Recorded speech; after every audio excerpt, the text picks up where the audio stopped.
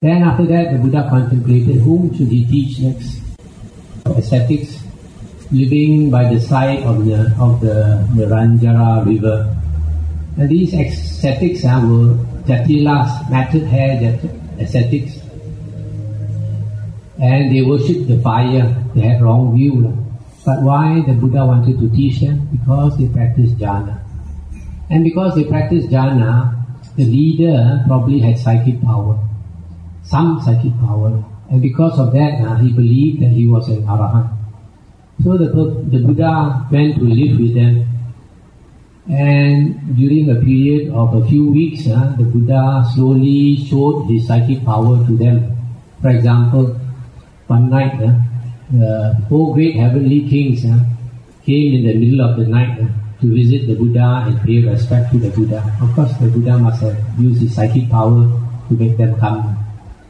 So these um, ascetics, uh, they could see uh, this bright light coming to visit the Buddha, and after that go away. So the next morning they asked the Buddha, who are those devas who came to see you? Then the Buddha said, oh, the four great heavenly kings. They came to pay respect and to ask questions. Ah, then this ascetic thought, wow, this Samana is great. Nah? Four great heavenly kings also can come and worship him. But then the leader thought, no, this samana might be, might be great, but he's not an arahant like me. So another night, yeah, Sakka Devaraja came, brighter still, made the whole place bright. And after visiting the Buddha, he left. Next morning again they asked, and then when they heard was Sakka Devaraja, they were even more impressed. Then another night, Brahma, great Brahma came, lighting up the whole place and they were even more impressed. So, uh, like another time, uh, because they were impressed with him, uh, this chief of the ascetics, in the morning, every morning he come and invite the Buddha for breakfast. So the Buddha said, you go first, Kassapa, I'll join you.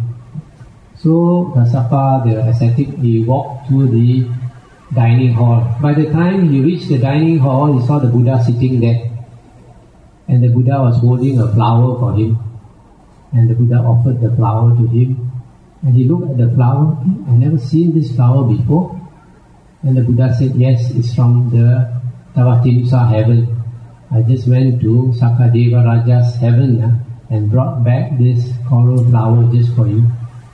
Then he thought, wow, this samana, great, huh? he can go to heaven and come back before I can even reach the dining hall. So in this way, yeah, after a period of a few weeks, yeah, they were so impressed by the Buddha, and then the Buddha gave him a slap in the face. How? The Buddha said, Kassapa, you've been thinking all the time you're an arahant, but you're not an arahant, and you're not walking the path to become an arahant. Nobody had given him this slap before. You woke him up now. Then he started thinking, yeah, this samana must be greater than me. So he decided to shave his hair like the Buddha and become a follower of the Buddha. So when his disciples saw that now, every one of them did the same. One thousand of them uh, became disciples of the Buddha. So the Buddha accepted them as monk disciples. After that, only the Buddha taught them the Dhamma. And the Buddha taught them one sutta only hearing one sutta, all 1000 of them became arahants. See how fantastic. He never, Buddha, the Buddha never asked him to meditate. Buddha just asked them to listen. I will teach you the Dhamma. Listen carefully. So they listened carefully and all became, 1000 became arahants. After that, the Buddha brought them to see King Bimbisara. King Bimbisara at that time was the king of Magadha.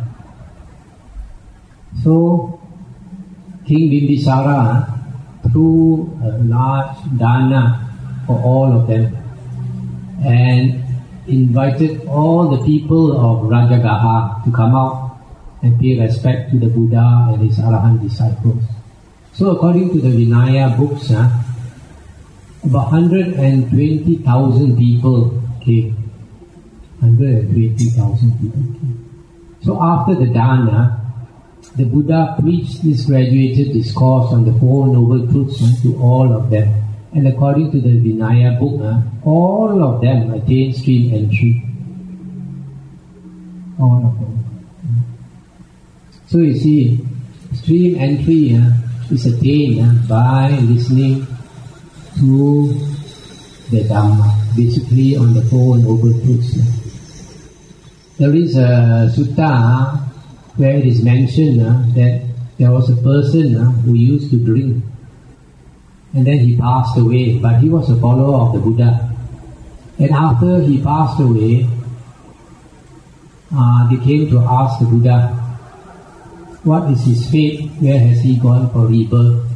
And the Buddha said, don't worry about, what's his name, Sarakani. The Buddha said, uh, he was a stream winner Sotapanna.